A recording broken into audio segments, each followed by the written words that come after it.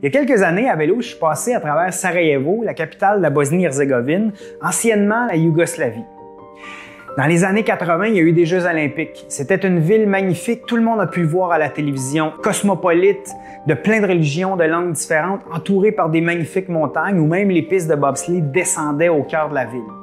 Quelques années plus tard, il y a eu une guerre civile qui a déchiré la Yougoslavie et Sarajevo s'est fait assiéger pendant quatre ans. Des tireurs d'élite se sont cachés dans les montagnes, dans même les pistes de bobsleigh. Ils se sont mis à tirer sur les bâtiments et sur n'importe qui qui pouvait marcher au cœur de la ville. J'ai rencontré un homme dans la ville, Neno, qui m'a dit avoir 8 à 12 ans pendant cette longue guerre-là.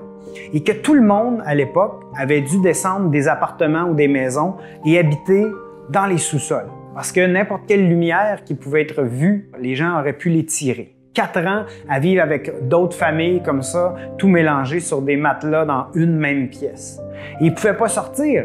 Évidemment, sa mère trouvait qu'il n'y avait pas une très très belle enfance. Et une journée, à brave les tireurs d'élite, elle brave les balles, elle sort dans les petites allées de la ville et a réussi à trouver en période de guerre une barre de chocolat qu'elle échange contre ses boucles d'oreilles en or. Elle revient et là, Neno me raconte que c'est la première fois de sa vie à ce moment-là qu'il goûte à du chocolat. Il dit, je mets un morceau dans ma bouche pour la première fois et le monde s'est arrêté. Il n'y avait plus de guerre, il y avait des feux d'artifice dans ma tête et je comprenais pas comment quelque chose pouvait être aussi bon que ça. Ses amis se sont approchés autour dans la même pièce, ils vivent tous ensemble. Ils lui demandent qu'est-ce qui se passe? Il dit je ne suis pas capable de vous l'expliquer, mais je peux vous en partager.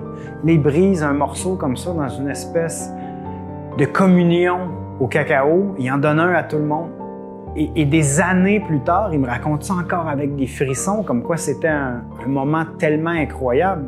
Je pense beaucoup à cette histoire-là récemment, en ces temps de, confinement où on nous dit de rester à la maison. Je pense que c'est correct, que c'est normal d'être inquiet présentement et de trouver ça difficile.